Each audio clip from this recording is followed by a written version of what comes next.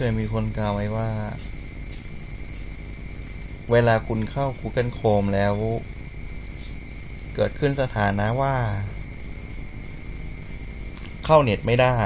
หรือเข้าเว็บอะไรไม่ได้ แล้วมันจะมีรูปไดโนเสาร์ขึ้น สังเกตว่ามันกระพริบตาด้วย เขาบอกว่ามันจะมีมินิเกมซ่อนอยู่ จริงหรือไม่ใช่หรือมั่วมาดูกัน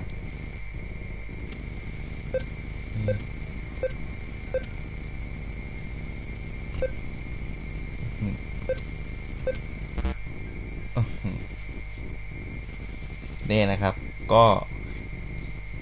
แค่คุณกด Space Bar นะฮะ มันก็จะมีมินิเกมให้คุณเล่น เรียกได้ว่าอาจจะเป็น Easter egg อีกอันหนึ่งของ Google Chrome ไปเลยก็ได้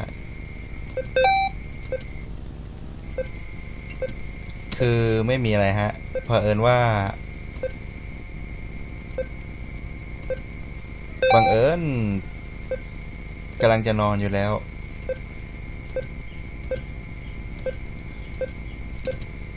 แล้วนี้ผมเพอปิด 3G ไปไง แล้วพอเข้าเน็ตไม่ได้ปุ๊บ มันก็เลยเป็นอย่างนี้แหละ